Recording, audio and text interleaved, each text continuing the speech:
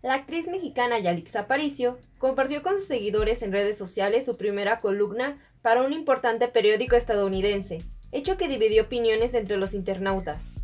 La mañana de este domingo, la protagonista del filme Roma apareció en los primeros lugares de tendencia, por un debate en los que algunos elogiaron el talento de Aparicio, sin embargo, otros la atacaron debido a sus raíces indígenas. La mexicana respondió a los comentarios y aprovechó para anunciar su participación en el diario estadounidense The New York Times, con la liga una columna que escribió para el mismo sobre la película que esterilizó en 2018, Roma. La columna, que lleva por título En México, Roma encendió un fuego por los derechos de los trabajadores, gira en torno a cómo la película de Cuarón logró generar conciencia social y un cambio en temas tabú, tal como el racismo y la discriminación.